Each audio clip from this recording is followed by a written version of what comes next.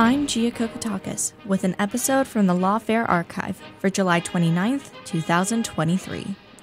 This week, Lawfare coverage discussed a California judge's decision to vacate a Biden administration policy that limits eligibility for asylum seekers. The judge found that the policy conflicted with the Immigration and Nationality Act's asylum provision. For today's archive episode, I picked an episode from December 7th, 2020, in which Jack Goldsmith sat down with Adam Cox and Cristina Rodriguez to discuss the President and Immigration Law, their book about the rise and operation of a president dominated immigration system. They covered the ways Congress has delegated expanded power over immigration to the president, the role of de facto delegation in presidential enforcement discretion, and the benefits, costs, and legal limits of the system.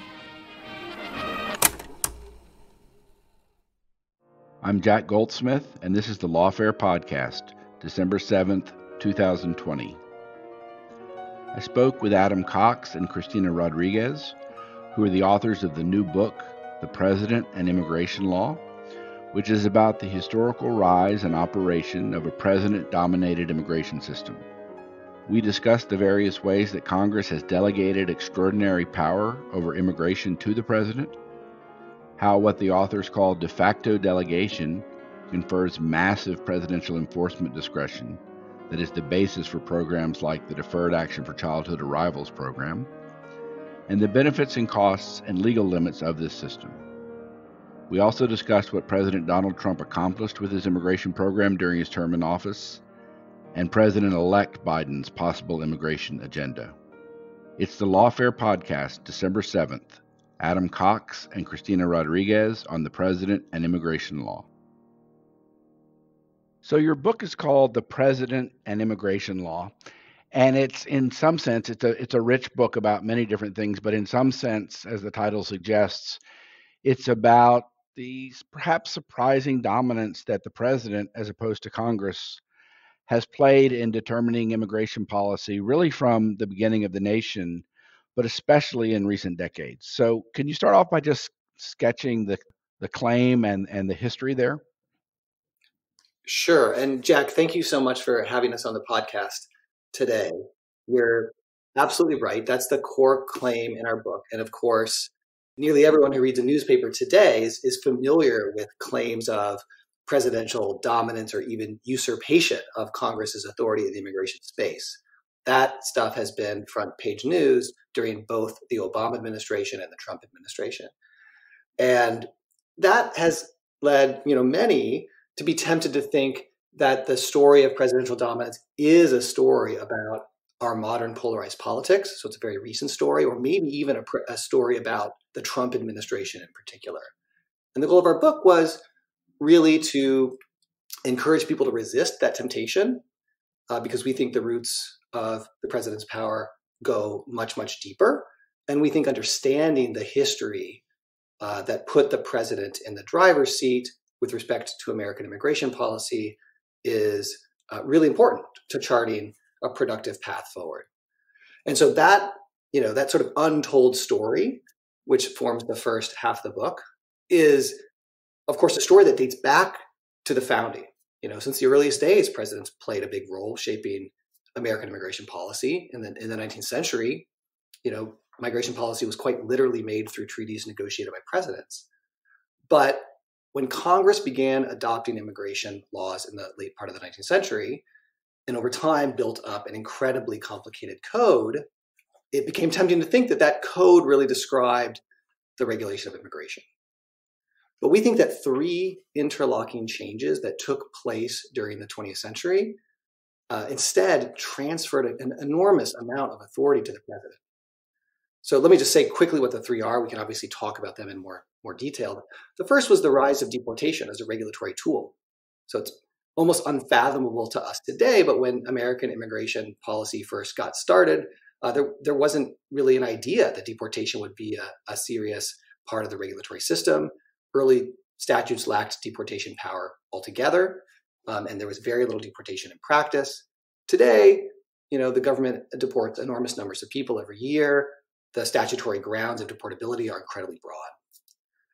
So that, that first change in the structure of law, which made immigration more probationary, right, put everyone under threat of being asked to leave, was accompanied during the 20th century's um, trajectory by explosive growth in an enforcement bureaucracy that could back those legal commands.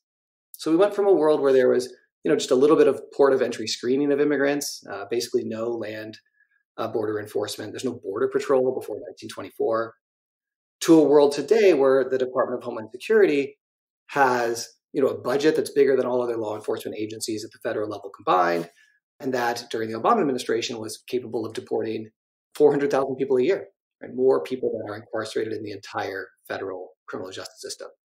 So the legal change and that bureaucratic development then collided in the latter part of the 20th century with rapidly rising rates of unauthorized immigration. And the causes of unauthorized immigration's rise are complicated and contested, but the consequences of that development are crystal clear. It left us with a world where uh, roughly 11 million non citizens living in the United States are living here in violation of law. That's nearly half of all non citizens living in the United States. And, and that gives us effectively an enormous shadow immigration system that kind of stands alongside the formal system. In that world, the complex code becomes less significant, and what really matters are the enforcement choices made by executive branch officials about whom to deport and when. And that puts the president front and center because the president sits atop that enforcement apparatus and supervises it. Okay, let me ask you some follow-up questions about that. That's that was a great sketch. So as I understand the system you were describing at the end, I think you described two types of delegation by Congress to the president in immigration law. And I just want to make sure I have this right so you can fix this if I mess it up. But one is what I think of as traditional express, very broad delegation to the president for certain immigration matters of the, the type of statute that was at issue in Hawaii versus Trump about exclusion, I think. So there's that type of delegation. And then there's what you call de facto delegation, complemented by what you were just describing as presidential enforcement discretion.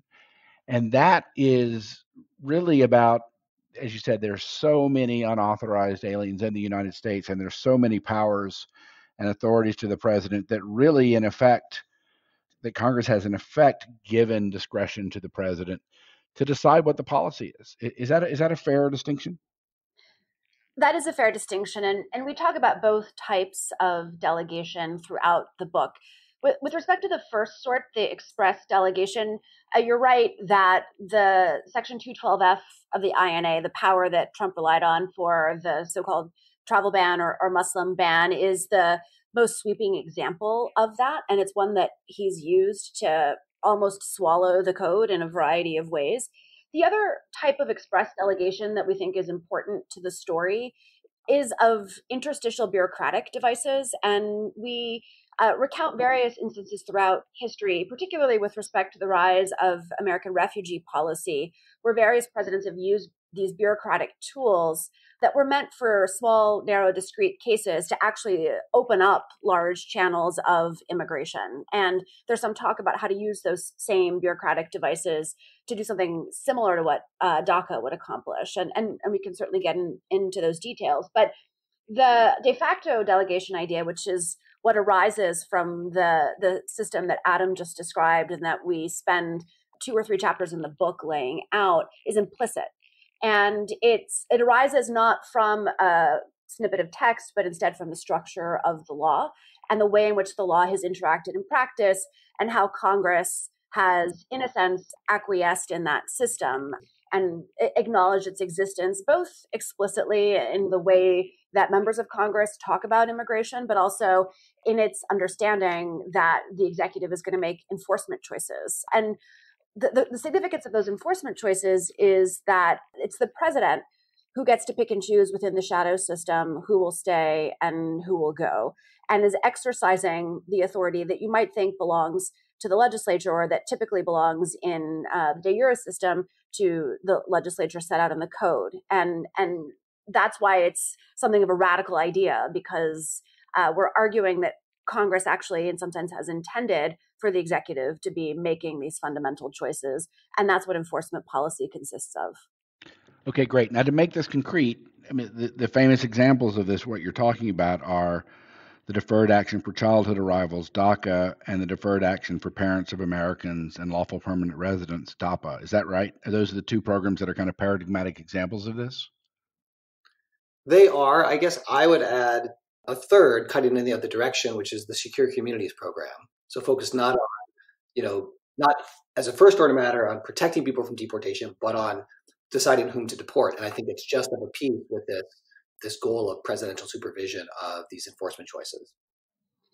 And the thing that I would also add to that, Jack, is to emphasize the precursor policies to DACA and DAPA, which predate the Obama administration. At least since the Ford administration, the bureaucracy, or I should say high level officials, uh, have tried to articulate enforcement priorities and through guidances to enforcement officials shape the direction of enforcement. Uh, what was innovative about DACA and DAPA was that it enshrined those choices in a set of quasi rules that were much more right. binding on bureaucrats.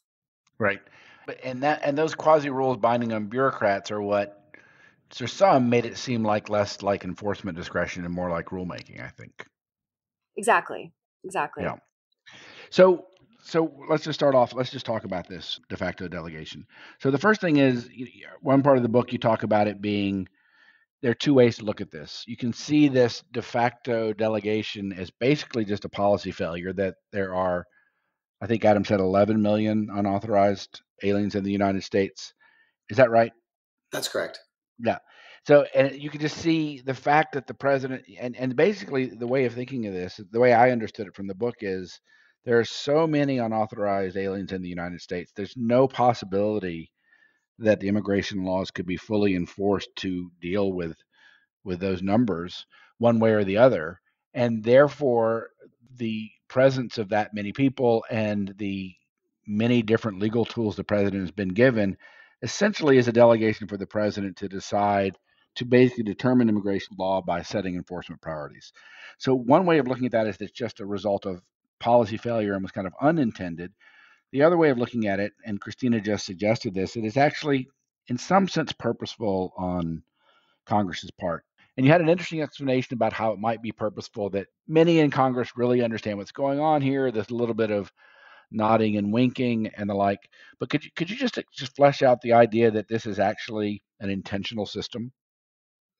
In saying that it's an intentional system, we're very careful to say that there wasn't a moment when people got together and designed the system and thought we need, for example, a large exploitable labor force, and uh, we can't get the legal authorities or the, the, levels of visas through the, the Congress as a whole. So we're going to uh, just allow illegal immigration to thrive and authorize the president implicitly to make choices about who gets to stay primarily as a worker, maybe as, as a family member.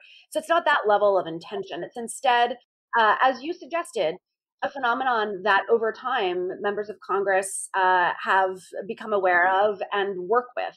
And some of that has to do with the, the challenges associated with getting reform through the legislative process. But some of it also has to do with recognition that there's always going to be some slack or that it's it's predictable that there might be some slack and that it's valuable to have a well funded executive branch that makes decisions of this kind. And you don't need a shadow system as large as the one that that we have to see this idea at work because the the interest in allowing some executive official who's managing the system as it evolves to exercise humanitarian grace or to make choices about economic needs and the the needs of families or other groups or interests that might be informing judgment will arise even without the shadow system of the extent that we've described. But the persistence of these tendencies to to let the the system stay in, in place has magnified the president's power and just reinforced the idea that this is the system that the branches have come to to settle on as the um, the way of of managing the dynamics that Adam described at the outset.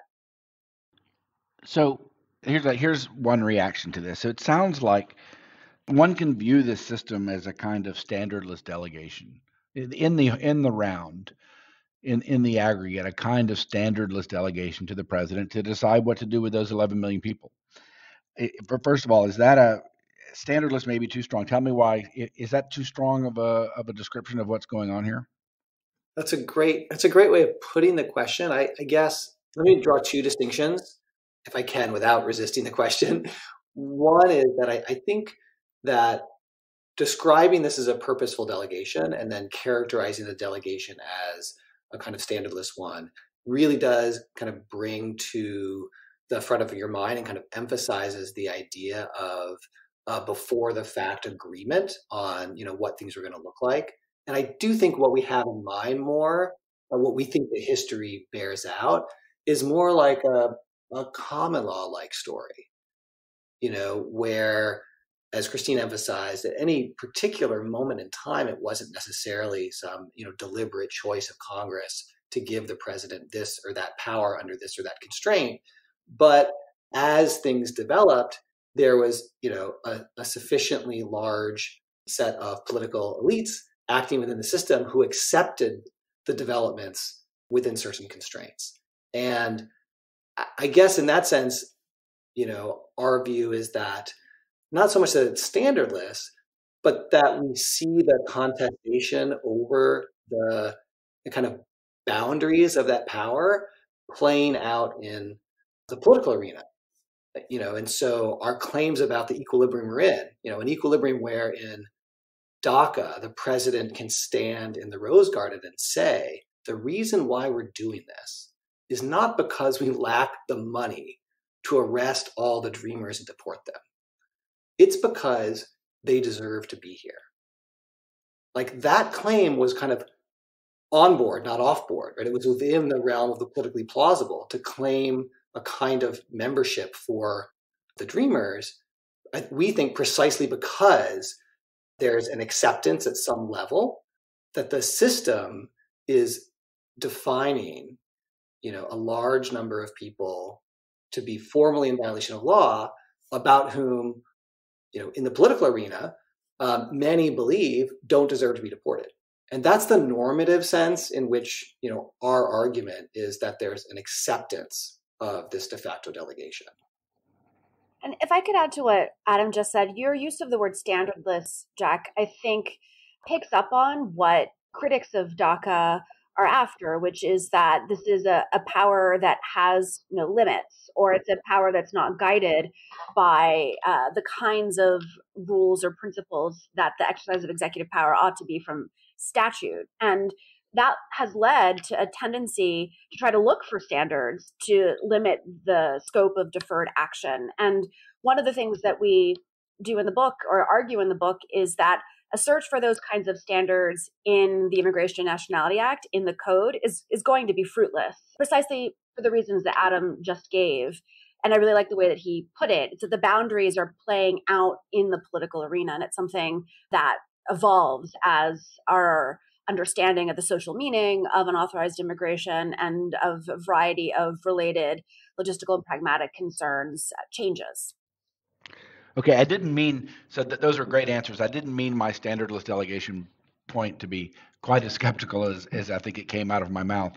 I do have some questions about it though, but, but that's one one way of looking at it is it's not a traditional delegation in the sense of even providing guidance about this policy versus that policy. It just leaves so much discretion to the president via his enforcement power, which is admittedly very broad before I get to some some skeptical questions, you do two things about with this in the book. You you explain where this de facto delegation came from. You do a great job of explaining its history and how it evolved, and and then you have a normative defense of it. And I think it's worth laying out to some people. Some people are going to be skeptical that you know there's the old-fashioned view that Congress should make the law, the president should enforce the law.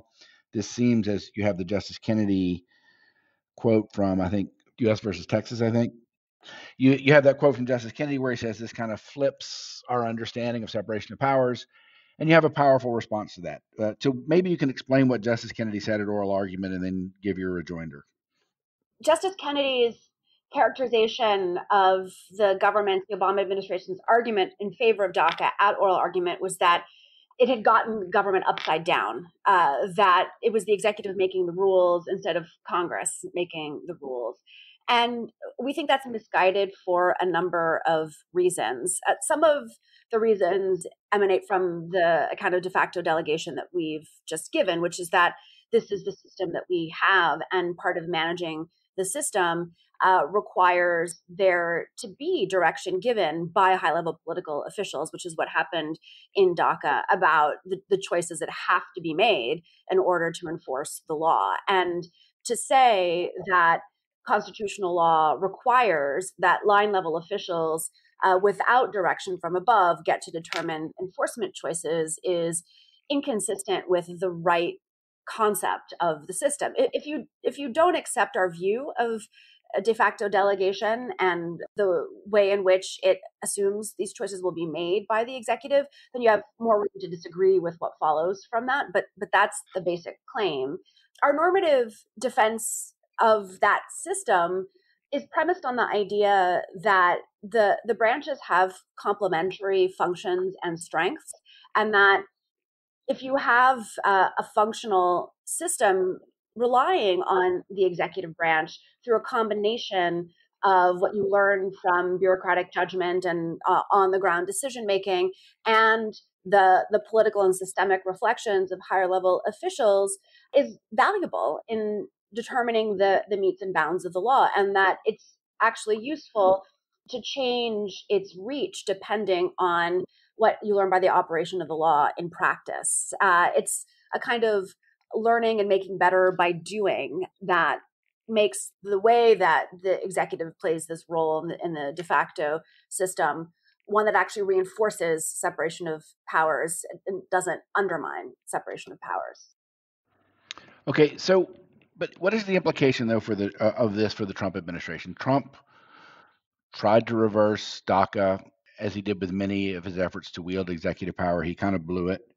But does it follow from your vision that, in fact, it might even follow from your democracy defense for this form of delegation that the president gets to decide, and a president who is hostile to immigration and who has the views that Trump has has you know basically the same tools to be used in the opposite direction. Is that is that an implication of your argument? I think that very much is an implication of the argument. And with respect to Trump administration policies, for example, it meant that you know our view in the in the Hawaii v. Trump litigation was that the the statute did delegate to the president sufficient authority to erect significant travel bans in the way that he has. You know, we thought the policy was unlawful, but we thought it was unlawful because it amounted to unconstitutional discrimination on the basis of religious beliefs. So, with respect to express delegations, you know, our view is the history has borne out the way in which they are really truly sweeping. And in fact, the way in which when Congress has tried to constrain those expressly delegated powers, as Congress has tried to do on a number of occasions with respect to the parole power, its efforts have been pretty ineffectual. You know, the one uh, policy that does stand out really in the Trump administration. Um, there a number of policies have been enjoined, though many of those injunctions didn't really stop the administration from accomplishing its goals through other ends with respect to, like, say, asylum policy, which has been largely shut down. The one, you know, prominent counterexample really is DACA, where the Supreme Court, you know, put the brakes on the administration's efforts to rescind the program. And we think what that shows is in a way maybe the the kind of role politics can, can play in constraining the president's power, um, almost more so than law, because the Supreme Court's decision did not say that the administration lacked the power to rescind DACA. The reason why the administration's you know efforts to rescind DACA failed was because the administration, you know, we think for probably for political reasons, wanted to say that its hands were tied, and that the reason it was unwinding DACA was that DACA was unlawful from the start. And the Supreme Court's decision to tell the administration effectively to do over their decision making rested on the idea that the administration had an obligation to explain its policy rationales for rescinding the program. So, you know, that's consistent with the idea that the president, as a legal matter, really, really does have the sweeping authority, even to undo programs like DACA. I also want to add, Jack, that we should be clear that our argument is not that the law does not constrain the president and that there's no law to constrain in immigration law. There's, of course, an elaborate code that constrains the, the president's actions, um, including and especially outside of the domain of enforcement, outside of the domain of de facto delegation. A lot of the litigation challenges to the Trump administration policies are of this procedural variety that Adam's describing. Though I think when the, the story is told of courts' efforts to restrain, it's not going to be just about what the APA has required, but about the kinds of politics that that Adam was invoking. And I would not have predicted that it would be this hard for the Trump administration to unwind a discretionary program. But there are other areas in the shutdown of asylum law, for example, where statutory law really does constrain the president's authority and where there is a strong claim that the administration has violated the limits of statutes. COVID has upended a lot of this because the president's been able to invoke emergency type powers to accomplish what seemed illegal under the, the INA. And, and those orders, of course, will either be mooted by the new administration or will continue to be challenged. Um, and we'll see if, if there are limits to those emergency author- authorities as well. But it's important that we understand that it's not that law has not and cannot constrain the president, it's that we have to understand how and why, not that that there's an inherent authority here or untrammeled authority. Right. So that's a very fair point. But with regard to DACA itself, and that's a hugely important policy. And I think, I mean, I agree with Adam that the import of the Supreme Court's decision was not that the president lacked the power to rescind it, but that he just flubbed it the way he did it. The administration just flubbed it.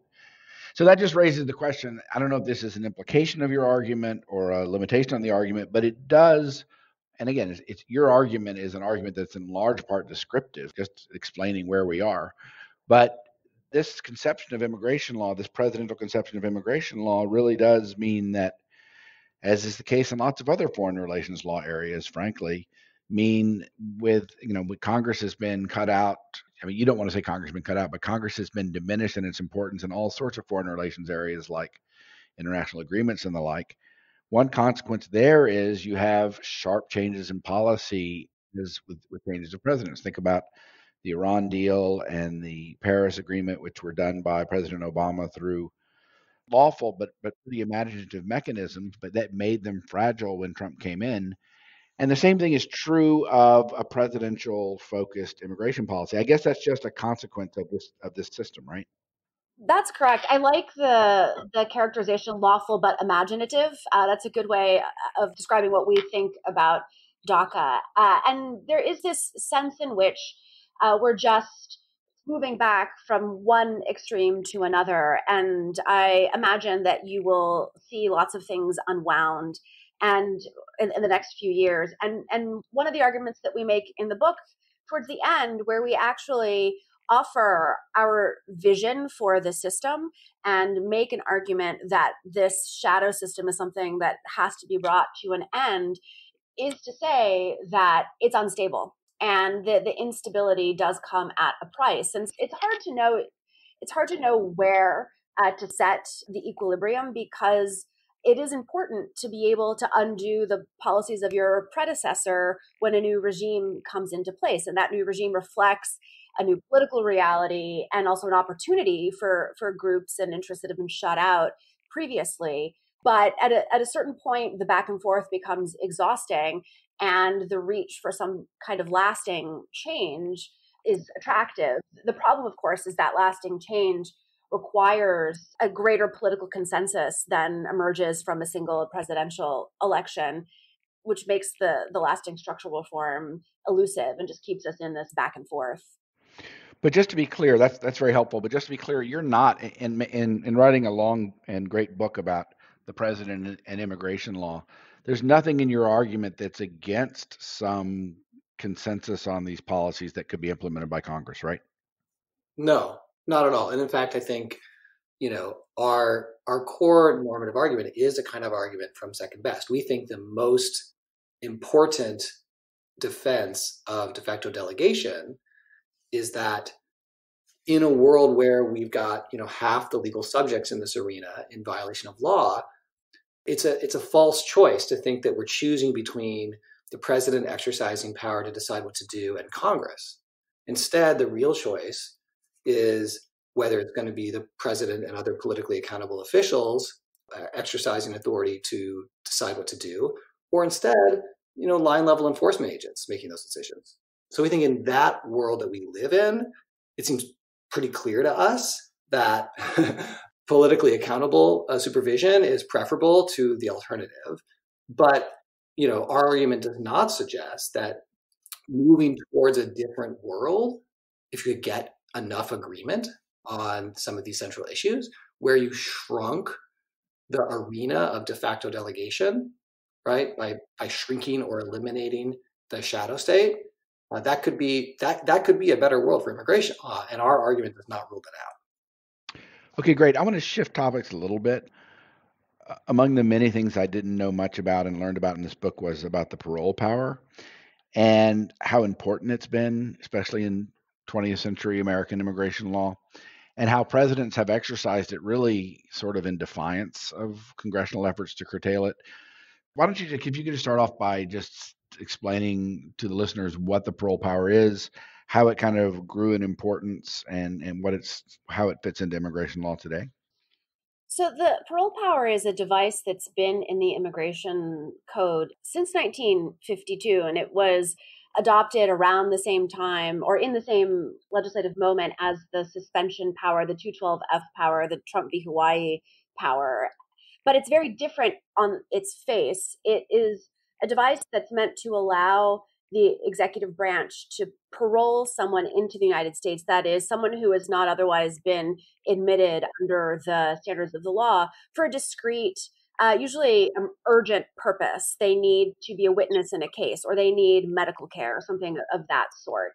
And it was understood to be a case by case interstitial device, but it's something that presidents very early on seized on as a way of actually admitting tens of thousands of refugees from various parts of the world. And it was, I believe, President Eisenhower was the first to use it in this fashion uh, because the laws enacted by Congress were not adequate to accommodate the the refugees from Hungary after the Soviet crackdown in the 1950s. And there were countries all over the world who were accepting refugees from Hungary, but not a means by which they could enter the United States. So Eisenhower uses this power, which is supposed to be a case by case power, to actually allow thousands of people into the country. And then that's the same power that was used to admit Cubans after the, the Cuban Revolution and, and Castro's takeover. It was the same power that's been used to admit Vietnamese refugees and and even Haitian and Cuban refugees in the 1990s to, to one extent or, or the other. And as Adam alluded to before, each time there has been an episode of this kind, there's been debate in Congress about whether that was an abuse of the, the power that was granted, because it was not meant to be categorical. It was not meant to invent a refugee system. And Congress sometimes has complained but not done anything about it. In other instances, tried to tighten the parole power, make it clear in the code that it is a limited device. And yet, not only do presidents keep using it, but often the people who are paroled, and it's a discretionary status, it's not a, a, formal legal status, those people are later given status by Congress because the political pressure to do so uh, is strong enough, and those people develop entrenched interests in the United States. And so it's a really interesting way of seeing how a bureaucratic tools can actually be used to transform a system when there is the political will to do it or there is some external event or series of events that puts pressure on the government to act and the executive branch looks for the tools that it has to act. And it was a great example in the book of how of many about how presidents have used these tools to kind of assert dominance in this area. You said at one point that obama if you could explain this it would be great if that obama could have used the parole power to go even further and give more comfort to the people protected by DACA and chose not to. Is that right? Yes, that's correct. Could you just explain what more he could have done, how parole would have given greater protection than DACA did, why he didn't do it? It's it's it's an interesting story. Sure. So as Cristina uh, described parole, it was conceived of as a vehicle to allow the president to permit non citizens to enter the country who are essentially standing at our gates, you know, but in need in some way. But because of some congressional changes to immigration law in the mid 1990s, the statutory basis for the exercise of parole can actually be used with respect to people who are physically present in the United States but have not been admitted. That exercise is known as parole in place. It's been wielded by both Democratic and Republican administrations. And the reason it's important is this there are, by most estimates, something like maybe a million people, unauthorized immigrants, who entered our country without inspection um, and are actually eligible for green cards. So they've, since their entry, married an American citizen and on that basis are, are eligible for a green card, but they can't get the green card because other provisions of immigration law say that if they leave the country to go to a consulate and pick up their green card, they'll be barred from reentry because of their old immigration violation. And if they stay in the United States, they can't get the green card because you can't get new immigration papers in the country unless you've been inspected and admitted previously or paroled. And so it's that language in this technical procedure for getting new immigration papers that makes the parole power so important. If President Obama had paroled in place a large number of, say, all, all unauthorized immigrants who were married to American citizens, which might have been like a million people, it would have immediately made those folks eligible, not just for protection against deportation, but for green cards. So, in a way, it would have been a more sweeping and more permanent form of protection for people than DACA provided. Because as you noted, DACA you know, can be rescinded. It's a discretionary form of um, enforcement forbearance. Now, the Obama administration chose not to go that route. We can only speculate about why they made that choice. And we can wonder whether the Biden administration will make the same choice. Obviously, the upside for an administration is you get a more durable uh, form of relief, one that cannot be easily undone by the next administration. Uh, politically, the downside is that it puts the president in the position, although he's exercising authorities that are clearly delegated by the immigration code, you can see the way in which a policy might be characterized as the president handing out green cards. And it might be that the feared backlash to that political characterization of such a policy was what, you know, led the Obama administration to try more limited steps initially. Okay, so you mentioned what the Biden administration might do. So I'm a casual follower of immigration law and policy, not an expert like y'all. And I, I don't really have a great sense of what Trump accomplished. I mean, he was obviously hostile to, to immigration across the board, but I don't have a, given all the litigation and, and the various types of maneuvers he made, I don't understand. Could one of you just give us an overview of what Trump accomplished, what he failed to do in, in, in kind of a 40,000 foot way, and where things stand at the dawn of the Biden administration? So Trump accomplished a, a, breathtaking amount, and I should say it wasn't you know him per se, but the people installed who had immigration as a high priority. And I, I think one of the main lessons of the Trump administration is that it takes political will to transform the bureaucracy. So it was a combination of intense political will by people such as Jeff Sessions and those in charge of Homeland Security, Stephen Miller, and others combined with an understanding of how to exploit as many bureaucratic tools as possible and having people at high levels who could supervise that process.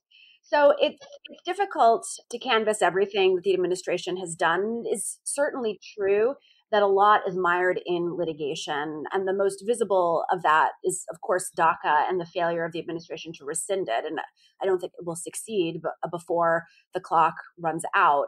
But there are many other ways in which the administration has transformed the, the system. So it has had an, an enormous impact on the immigration courts by doing a variety of things like certifying decisions by immigration judges and the appellate body within DOJ to the Attorney General to issue opinions about the meaning of asylum law. The AG has authority under the Homeland Security Act to say what the law means and has dramatically narrowed the government's understanding of asylum law. It has issued similar opinions and promulgated regulations to limit the ability of immigration judges to close their cases and to manage their dockets in the interest of promoting faster deportation. It has issued enforcement priorities at high levels in the Department of Homeland Security that are really not priorities at all, but a statement that all forms of deportation will be pursued. It has chosen to do things like use its maximum authority under the code to apply uh, this procedure called expedited removal, which allows uh, the removal of people without process if they've been in the United States for less than two years. And it goes on and on. Um, some of the things that are not visible are ways in which the Trump administration has slowed down the legal immigration system. This is something that when we first started writing, uh, we didn't really identify as a significant threat or possibility. But the Trump administration has been able to slow down uh, legal immigration by slowing down processing, by changing lots of rules that govern the way that legal visas are issued, by doing things, for example, like requiring that every every field in a form be filled out in order to be accepted.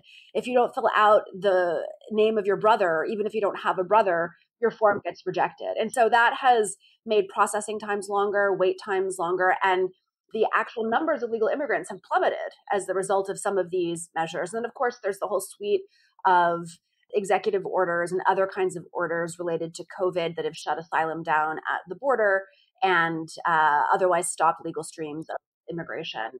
And so, despite all the litigation, and some of these things that I've mentioned are in litigation, the Trump administration has accomplished a great deal.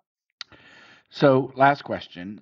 Just give us, if you could, a similar overview of you know what what the Biden administration's announced plans are and what its prospects are. I mean, is it is the aim here to go back to the status quo ante of January 19th of 2017? Is there a different plan? I mean, what, what has Biden said about what he plans to do with Trump's immigration policy, and what are the prospects for achieving it? So thus far, not a lot of details have been released, although obviously, you know, it's been widely reported that Biden, as a candidate, talked about moving forward with some form of a large scale uh, legalization program. So that many of the public statements during the latter days of the campaign really centered on things that would have required Congress to get involved. And you know all of that hinges on the Senate election in Georgia, probably. So we don't we don't know whether those possibilities can come to pass. If we focus you know where our book has been, which is on executive uh, branch action. Cristina's laundry list of all the things the Trump administration uh, has done obviously, you know, provides, as you say, a kind of laundry list for correctives. You could imagine trying to reverse a lot of those actions, and some of it is quite low hanging fruit. You know, rescinding many of the executive orders that establish travel bans of various sorts, for example, would be a relatively straightforward uh, way to revert back to the status quo. I guess if I had to pick, you know, three areas where I could imagine there being a lot of attention um, in the coming months, I think one is going to be on restarting our asylum system because that is one area where through a series of overlapping moves that the Trump administration really did quite effectively entirely shut down the system for screening asylum applicants along the southern border. Like even as they confronted a whole number of losses in court, uh, they still the administration still managed to get enough policies in place that there are essentially no grants of asylum um, happening along the southern border now. So I think restarting that system is going to be a real focus for the uh, the Biden administration.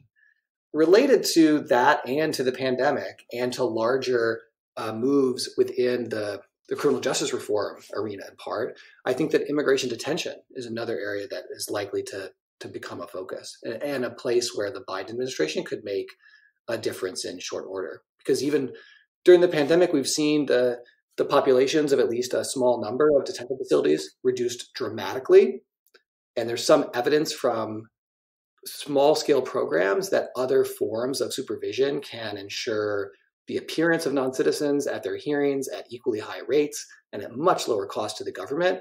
And so that seems like a real potential opportunity for the administration.